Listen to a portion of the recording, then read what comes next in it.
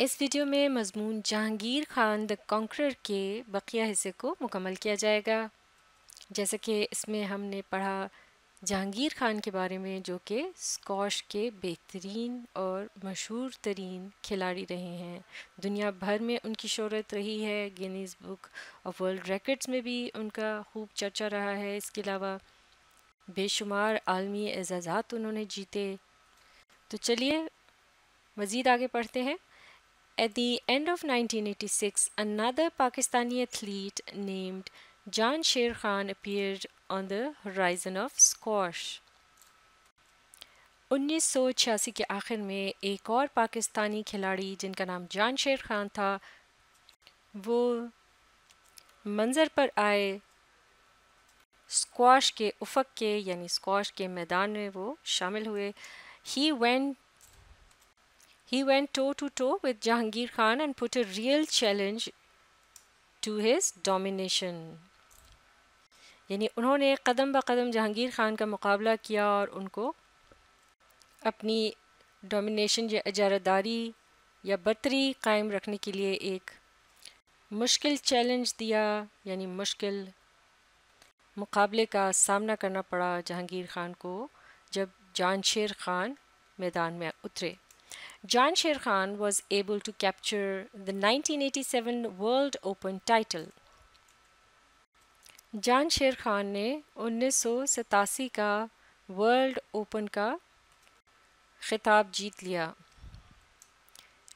Jahangir Khan, however, managed to put an end to Jan Sher Khan's winning streak over him in March 1988. Jahangir Khan بہرحال اس قابل ہو گئے کہ انہوں نے جان شیر خان کی جو جیت کا سلسلہ تھا، اس پر مارچ انیس سو اٹھاسی میں قابو پا لیا۔ They met in the final of the nineteen eighty eight World Open where in Jahangir Khan stood victorious تو ان کا مقابلہ ہوا۔ انیس سو اٹھاسی کے ورلڈ اوپن میں، جس کے اندر جہانگیر خان نے کامیابی حاصل کی۔ One of the main reasons behind his phenomenal performance was his incredible fitness level which he had attained not without a rigorous training and regular physical exercise اور جو وجہ ان کی اس غیر معمولی کارکردگی کے پیچھے تھی وہ ان کی ناقابل یقین جسمانی مضبوطی تھی، جنہیں انہوں نے بغیر انتھک محنت یا کوشش کے ٹریننگ کے جو کہ یعنی اور اس کے علاوہ مسلسل جو ان کی جسمانی ورزش تھی، اس سے انہوں نے یہ حاصل کیا یعنی اس کے بغیر حاصل نہیں کیا، بلکہ یہ سب وہ باتیں تھیں جو انہوں نے کی کہ جس کی وجہ سے انہیں یہ کامیابی ملی۔ He would start his day with doing a fourteen kilometre jogging in sixty to hundred and twenty minutes یعنی کہ وہ اپنا دن کا جو آغاز اس طرح سے کرتے تھے کہ چودہ کلو میٹر جاگنگ کیا کرتے تھے جو کہ ساٹھ سے ایک سو بیس minute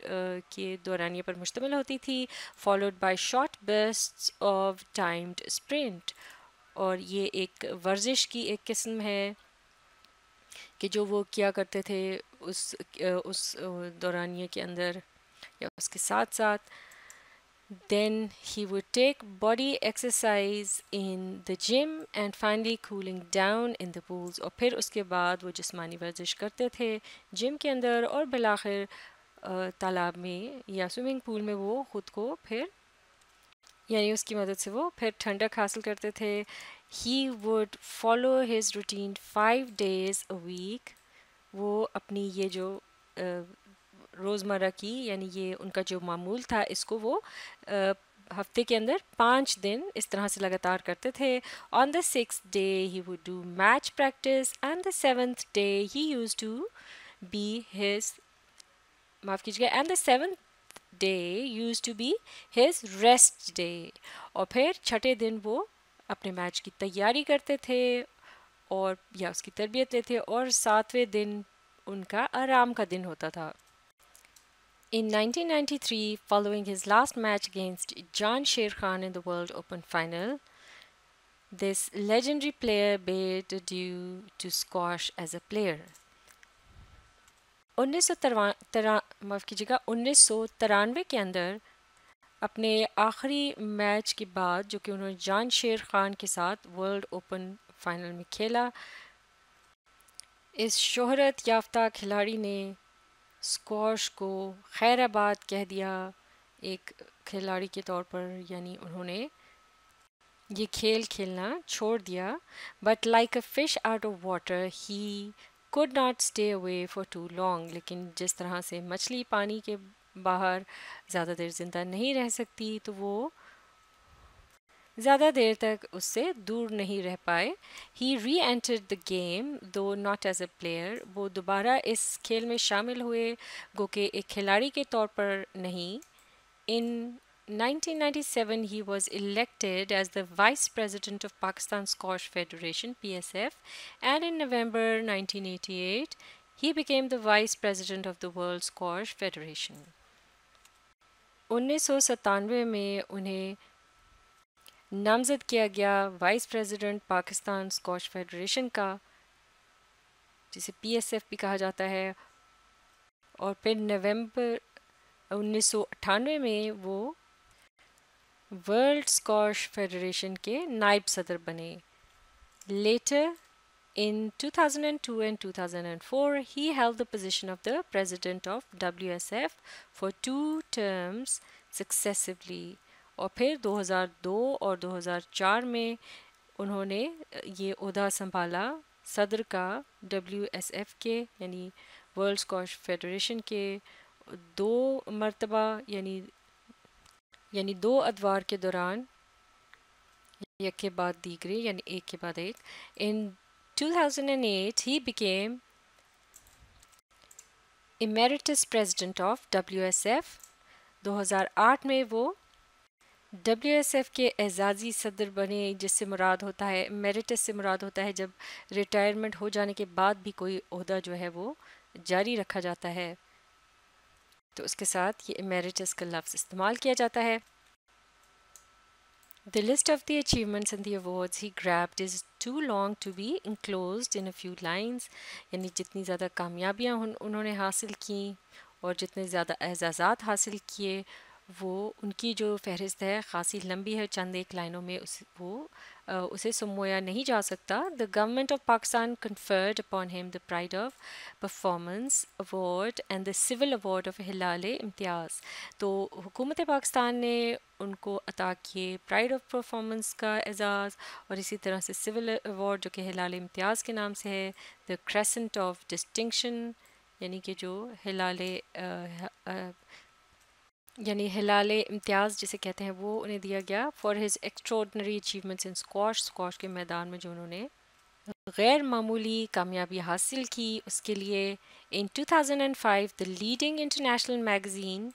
Time named him as one of the Asian heroes of the last sixty years یعنی کہ پھر اس کے بعد انہوں نے جو اعزاز حاصل کیا دو ہزار پانچ میں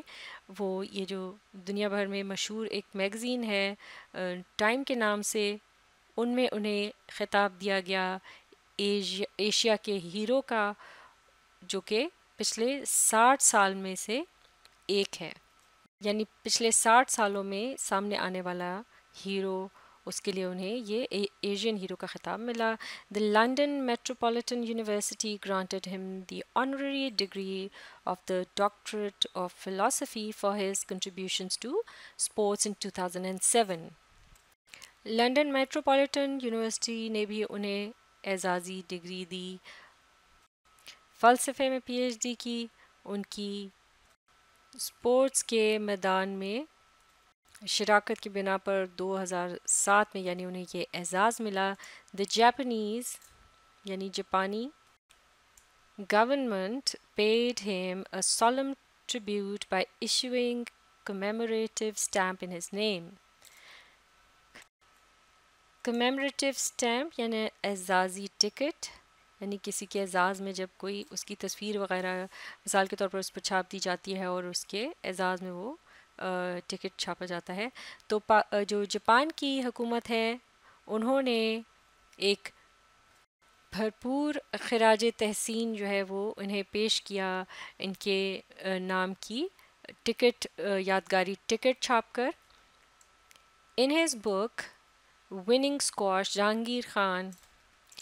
writes I was told یعنی اپنی جو کتاب ہے وننگ اسکواش کے نام سے جو انہوں نے لکھی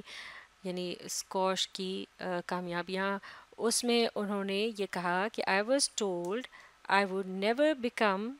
world champion یعنی مجھے یہ بتایا گیا تھا، میں کبھی بھی دنیا بھر میں بہترین یا کامیاب ترین کھلاڑی کے طور پر یعنی ایک چیمپئن کے طور پر سامنے نہیں آ سکتا. I was the youngest the smallest the feeblest and the sickest of the family یعنی میں سب سے چھوٹا تھا، سب سے نومر تھا یعنی عمر میں کم تھا اور قد کاٹ میں سب سے چھوٹا اور بہت کمزور اور سب سے بیمار رہنے والا اپنے خاندان بھر میں۔ He stated further in his book یعنی انہوں نے اپنی کتاب میں مزید یہ کہا neither the doctors nor my father believe there was a chance for me to become a good squash player کہ نہ ہی میرے والد کو یا ڈاکٹروں کو یہ ڈاکٹروں کو اور نہ ہی میرے والد کو یہ یقین تھا کہ میں کبھی اسکواش کا اچھا کھلاڑی بن سکوں گا however despite such disparaging views and discouraging comments of the world without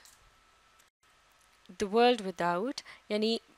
بہرحال باوجود یہ اس طرح کے جو حوصلہ شکن خیالات تھے یا توہین، آمیز اور حوصلہ پست کرنے والی یہ جو باتیں تھیں باہر کی دنیا کی، اس کے باوجود he was ignited and boosted up by the world within and he proved himself وہ جوش و خروش اور جذبہ جو ان کے اندر موجود تھا بالآخر اس نے انہیں منوایا یا ان کی ان کی برتری کو ثابت کیا۔ He ruled over the world of squash and true to his name he was called as the conqueror انہوں نے اسکواش کی دنیا پر راج کیا اور جیسا کہ ان کا نام تھا یا انہیں خطاب دیا گیا، انہیں ایک عظیم فاتح کہا گیا۔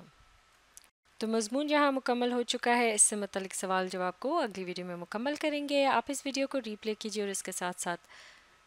پڑھنے اور سمجھنے کی کوشش جاری رکھیے۔